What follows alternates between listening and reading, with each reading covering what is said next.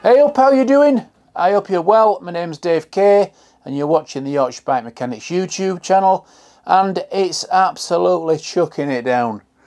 Um, what a nightmare. Anyway, we've had some lovely weather over the past few weeks, but uh, over the past few days I've never seen as much rain. It's absolutely rolling down the hill. Anyway, uh, moving on. The reason I want to talk to you today, or to try and help you if I can, is all about wheels. Uh, you can see I've got a few wheels behind me here. So this is a bit of a complicated um, issue. Well, it's not complicated. The choices are difficult because when you're looking for a pair of new wheels for your mountain bike, you just you're absolutely bewildered by the amount of choice that's out there, and trying to trying to find something that's really going to be good for what you want uh, to use them for is really difficult. And I think um, I think a little bit of knowledge is needed really on what uh, what's out there. Uh, why would you choose a, a, set of wheels over another set of wheels? Are they going to be good for my bike? Uh, do I need strong ones? Do I need light ones? The whole thing's a little bit of a nightmare. So I'm hoping I'm going to try and simplify a little bit for you. It's a big subject, uh, but it's something that uh, we're quite passionate about is wheels. Me in particular, um, I'm a wheel builder. 50% uh, of my business is building wheels.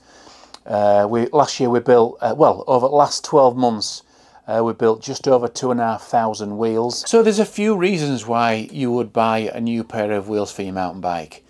It might be that you just want a new pair of wheels, you fancy a new pair, uh, your old ones are looking a bit tatty and you just fancy a new set. Um, it could be that uh, your other one's gone faulty, the free hub body's gone, and you just you need a new pair of wheels. One of the things that you need to consider when buying wheels is your budget.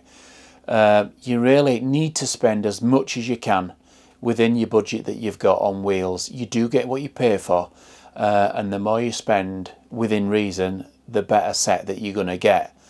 Uh, the other thing uh, is what you're going to use your wheels for, how you're going to use them, where you're going to ride your bike, how much stick are you going to give your bike, uh, and things like that are the other things that you need to consider.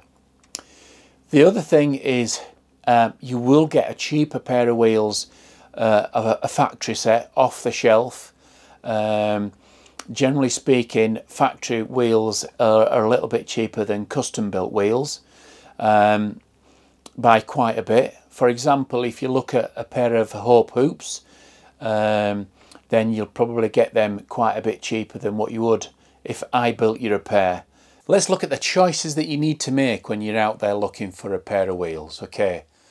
so, if you've got in your budget roundabout between five and 600 quid in your budget for a new pair of wheels, then you should be able to get a decent set of custom built wheels for your bike, whether they're 29ers or 27 and or whatever size you've got, you will get a decent set of wheels for, for your bike. If you're an aggressive trail rider, then you won't need to spend any more than that. Um, if you're uh, if you're a social canal rider, then you should be able to get them a little bit cheaper, depending on what rims that we build on. Okay, they're the main thing. They're the main main reasons that you want to consider. If you want to if you want to build on a pair of Chris King hubs, okay, uh, on a on a, a decent pair of Stans rims, for example, you're looking at round about just over a grand, possibly a little bit more. Uh, depending on which which hub you're going to go for, which Chris King, King you're going to go for. Okay, so let's talk about spokes. We'll very briefly cover spokes. There's two main types of spokes that you need to be aware of. A plain gauge and a double butted, okay? The plain gauge spoke is generally 2 millimeters from end to end. The double butted spoke is generally thinner in the middle at 1.8 millimeters and it's 2 mil either end. The double butted spoke, in my view as a wheel builder, is a little bit of a better spoke because it gives a little bit more flexibility in that wheel okay you can build a super strong wheel with a wheel with a plain gauge spoke okay you'll find that bike big bike manufacturers will tend to build their wheels with a, a plain gauge spoke It doesn't mean that it's an inferior wheel, but you'll generally find that plain gauge spokes are a lot cheaper, okay? I'm not saying that's the reason they use them, but they are actually cheaper. I would prefer to use a double butted spoke. There's two main manufacturers of spokes that we use. We don't use anything else, okay? We've got DT Swiss Competition and we've got Sapim, okay? Sapim Race. They are both double butted spokes, a good quality stainless steel, well branded, and we don't use anything else. So what you need to check for when you're looking at built wheels is uh, what sort of spokes I've got it. You need a double butted spoke, um, either ideally either a DT Swiss Comp or a Sapim Race. Okay, either one of those two is a good spoke to have in your wheel. Hubs. We briefly did uh, uh, a little bit of a, a versus video a couple of weeks ago on Hope Pro 4s against DT Swiss 350s. Um, both a particularly good hub and I would recommend any of those hubs, any of those two hubs on any of the wheels uh, that you want to build for your e-bike, your trail bike, uh, your uh, downhill bike. Uh, either of the, either of those hubs will be brilliant on your bike. Okay, if it's uh, uh, if it's an e-bike, I would personally prefer the DT Swiss 350 because of the engagement. But having said that, DT 350s you can only get in black, you'd not no colours whereas the Hope you can get in loads of different colours. So it's a bit of a personal thing. They're both good hubs. But the main thing with any hub is you must make sure that you can get spare parts for them within a couple of days, okay? It's really important and they're easy to maintain, okay? That's the key with hubs. Support, maintenance and the ease of spare parts, okay? Warranty. So uh, there are obviously other hubs on the market. There's Superstar, uh, there's Halo, uh, there's Shimano, uh, but really those are our two preferred hubs when we're building uh, when we're building wheels. There are Chris Kings. But if you've got a spare grand and a bit, then by all means have a look at Chris King. They're a lovely hub, uh, really really nice and lovely to ride on. The the a super hub. Um, so yeah, any of those three. So that'll cover your hubs. Let's look at rims, okay? So this is the important bit. Well, they're all important, but uh, important in terms of where you're going to be riding your bike. So a customer says to me, I need some rims. Yes, you do. Uh, whatever I get. Okay, where do you ride your bike? Do you ride trail centres? Are you aggressive? Are you downhill? Okay, now depending on what they say, I will aim for certain types of rims. So say for example they're an aggressive trail ride, the light trail centres, okay, odd jump, few drop-offs, okay, and um, they're an aggressive rider. Not that particularly heavy, okay, so 13, 14, 15 stone. I would recommend a, a, a set of different four, four rims, four or five rims in that group I will recommend for that rider and that sort of riding. Um, firstly because we've built on them for years, all of them we've built we've built hundreds and hundreds of each one, okay? And we've never never had a problem with any of them. Okay, they are super strong, super light, um, well manufactured. The quality of, of the uh, the aluminium is brilliant. The finish is good, okay?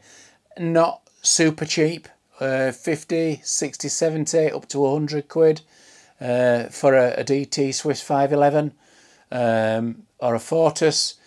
But generally speaking, you do get what you pay for with rims. So we'll look at either Stan's, uh, Flows, Mark 3s, uh, EXs, okay, uh, a DT Swiss 511 or a 481 DT Swiss an E13, okay, or a Hope, a Hope Fortus. Either, any of those rims is brilliant for trail riding and quite capable of doing quite a lot of downhill as well, okay?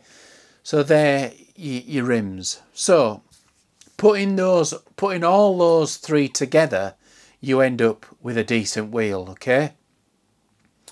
You need to be spending roundabout, for a custom wheel, for a custom set of wheels, you need to be looking at round about 540 quid for a custom set of built wheels. That's if, if we build them. I don't know what other people charge.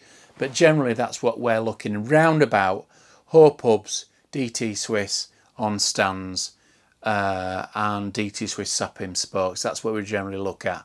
And we'll we'll obviously put them put them together tubeless for that as well. So um, so yeah, depending on where you go, obviously prices vary, but that's what you're looking at. If you fancy a factory set a factory set of wheels, then I would recommend that you go through to Hope, okay? We're a Hope dealer, so we can get them for you if you wish, or you can go through to another dealer. It's entirely up to you. But if you go for uh, a Hope hoop, a set of hoops uh, from Hope, you'll get them uh, a little bit cheaper than 540 uh, for a set. Brilliant pair of wheels, a brilliant factory set of wheels.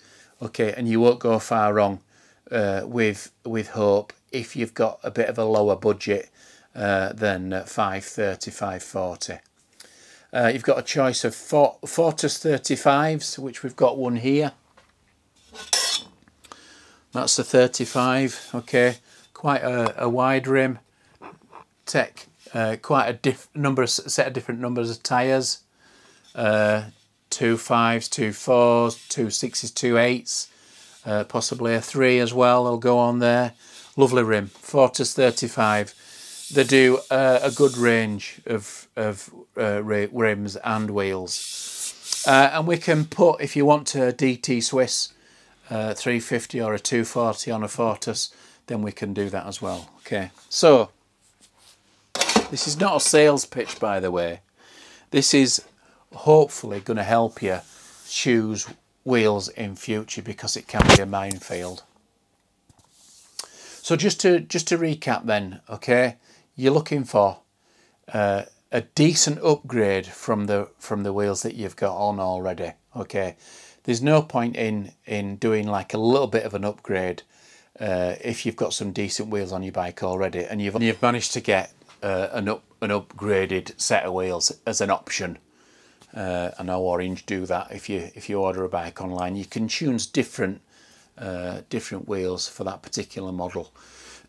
Um, obviously the price goes up as, as the uh, the better wheel that you put on your bike. So wheels are a brilliant upgrade from for your bike to be honest particularly if you've uh, bought a brilliant e-bike or or a great trail bike or an all mountain bike but you had to buy one with a lower spec to suit your budget and now you're able to put some money into it.